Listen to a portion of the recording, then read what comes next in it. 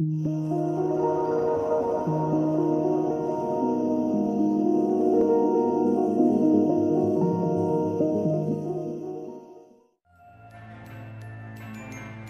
ojos, llamados las ventanas del alma.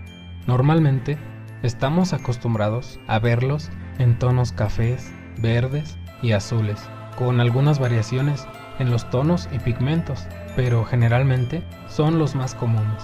Por lo tanto, verlos de algún otro color en esta época actual sería algo totalmente extraño para nosotros.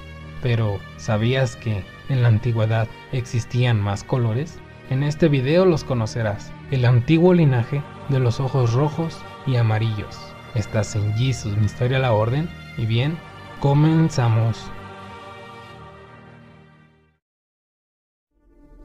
¿Qué dirías si te menciono que en la actualidad hubiese sido muy común tener los ojos en color amarillo y color rojo, tonos que hoy son imposibles de poseer, pero siglos atrás, en la Edad Media, eran de lo más normal, aunque tenían una esencia que imponía sobre los demás colores, hecho por el cual las personas que poseían estos tonos eran mal vistos y tenían que vivir bajo el miedo constante, pues eran los tiempos donde iniciaba, con un gigante apogeo, la histeria por las brujas, los demonios y la magia, donde cualquier persona sospechosa por su ropa, manera de vestir o en este caso por sus ojos, esos tonos amarillos y rojos, pocos quienes los tenían lograban llegar a ser adultos, pues las demás personas comenzaban a casarles, mientras que las familias que tenían un bebé con este color de ojos solían entregarlo directamente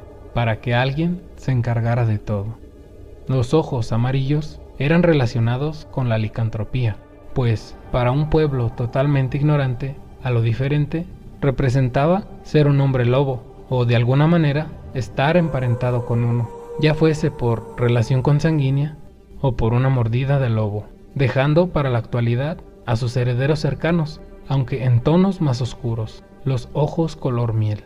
Por otro lado, los ojos rojos lucían increíbles y de igual manera comenzaron a desaparecer por su relación con el demonio, ya fuese por posesión demoníaca o por un pacto conseguido en algún ritual. A estas personas igualmente se les capturaba y purificaba con fuego. Los herederos de este tono son el color violeta, que también es muy extraño, mucho más que el ámbar, y está más propenso a desaparecer, definitivamente, terminando así con decesos de un aproximado de 3.1 millones de personas, sacrificados gracias al miedo e ignorancia.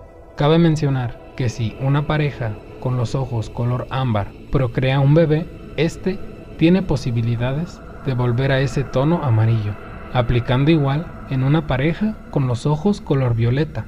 Podrían ver el nacimiento del antiguo color rojo.